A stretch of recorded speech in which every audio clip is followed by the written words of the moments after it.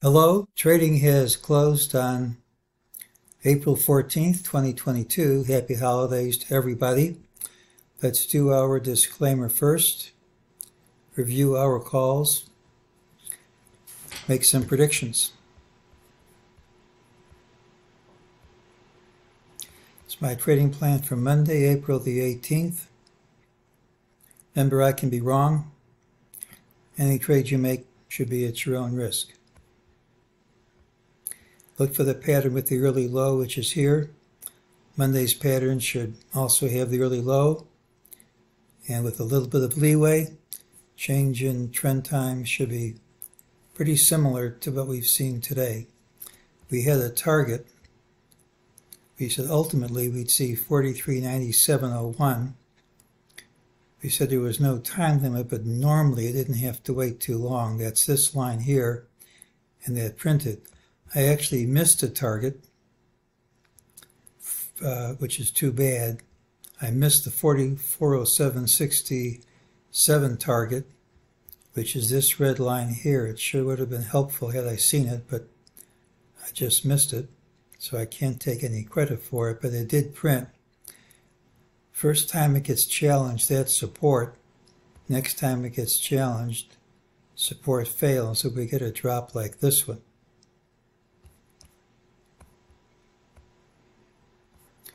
During the day, MEJT said this rally was a false move. Prices would retrace, and that's what happened. We said if yesterday's high held, that there was a wave count, an alternate count, suggesting we'd be in the wave three down. Well, the high didn't hold. And this isn't an impulse, this is, this is overlapping. So that count has to be discarded. We're going to have to return to the original count as opposed to the alternate count. What happened here is you have this rejection of the high, a big drop right to the support level, even though I didn't identify it at first. It's still there. We then recovered over all these prior lows. That's the rejection of the drop. It's a bullish formation. And then, without a huge amount of time to trade, and right when liquidity dries up and the volume dries up in front of a long weekend, you get a wall of selling, pretty much a wall, except for this, into the close, which is obviously retail customers selling. But just as yesterday, a big rally couldn't close over prior highs. This big drop couldn't close under this low. Now that might change Monday. This drop might not be over. But if that holds, it's a bullish pattern too. Normally, when you get a big drop like this on a Friday, when the market resumes, almost always you're going to follow through. That's what you expect. If we don't follow through, that's an if. If we don't follow through and we gap up smartly instead, and particularly if we gap up and promptly overtake this high, that's a very bullish pattern. Hasn't happened yet, might not happen at all, but on Monday we're going to watch to see if that happens, because if it does, we could be off to the races on the upside. This is our long-term count. We've we have shown this a few times. We had this green wave A way back in 2009. I was hoping to see green C equal to green A. We stopped right at the 78.6, not my favorite fib number, but it is one. So if that holds, we have to respect it might not hold, but at this low, sentiment readings were at levels typically seen at major market lows, and they've held so far. Let's focus in on this area.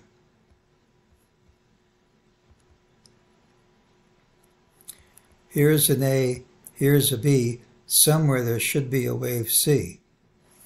Now we showed before that wave A is equal to wave C right at this low. I was looking for lower prices, but as long as that low holds, that's a valid pattern. What makes it more interesting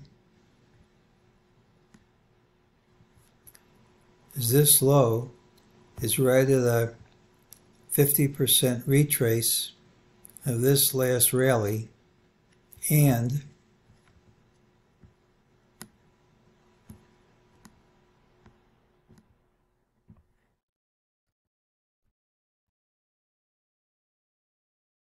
It's right at a 61.8% retrace of this whole drop.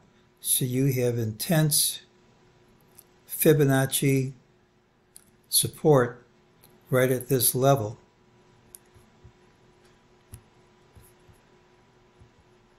And it's coming right at Christopher Carolan's spiral calendar date. Don't forget, April 18th is Monday. If we gap up Monday, he hits this date right on the head. But even now, since there's a three day window, three to six day window, we are within his time frame for a low. Now, if we crash Monday and then go up, it's still within his time frame. But the point is, we're in the time frame for a low by his, by his methodology. Now this was the old count, and it just doesn't work. That's not a wave 3. So we have to go back to the original count.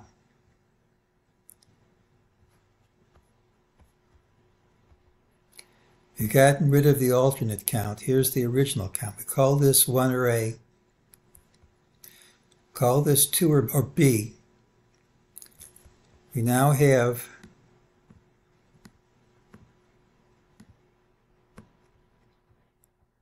an A, B, C, with C having an A equal to C, good fibs. And if you look at black wave A and measure from black wave B, it's exactly equal. You can't get better than that. Now that's because this count works, doesn't mean other counts won't. But it certainly is a strong candidate for the end of this drop with an ABC, and if that's true, we're going to go straight up. We won't know if it's true until Monday.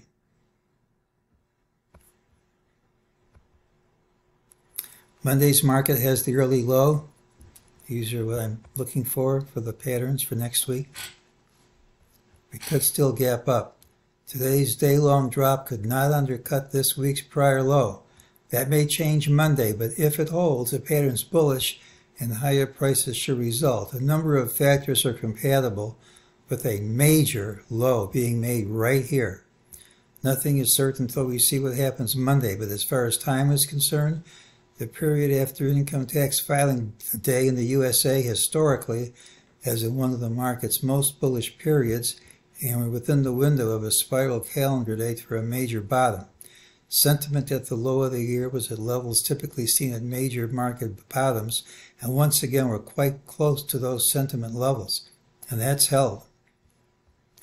Breadth has improved markedly, so fewer and fewer stocks are pushing the indices down. In fact, some of the market leaders I look at actually broke out to the upside today. That's not what I would expect to see if we're going to collapse. The NASDAQ, NASDAQ McClellan oscillator has given a Bollinger Band reversal buy signal. The wave count shows perfect balance, justifying a rally from right here. The wall into the close typically gets followed through and trading resumes, but if we gap up smartly instead, it's quite bullish. Should a rally occur from here, it's likely to break to new all-time highs, pretty much in a straight line move.